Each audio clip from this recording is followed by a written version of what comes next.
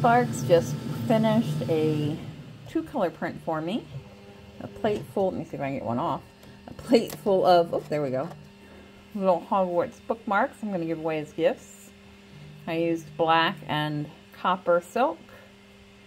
The black, the matte PLA, and then the copper silk, and they came out really, really beautifully.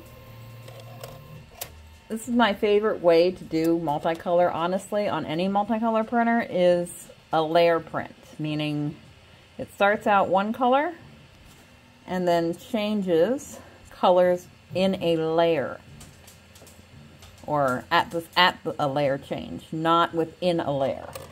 You know, this type of multicolor where it changes from brown to black, back to brown, back to black, back to brown, requires a lot more filament changes and therefore produces more waste. If you can design the part to be um, changing colors at a layer rather than within a layer, you're going to save a heck of a lot of filament waste.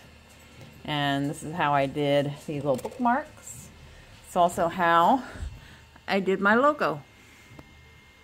That was my very first multicolor print that I did on my Hi Combo when I got it. So, yeah, if you can design something to be two color at different layers, you're, it's always going to be more efficient.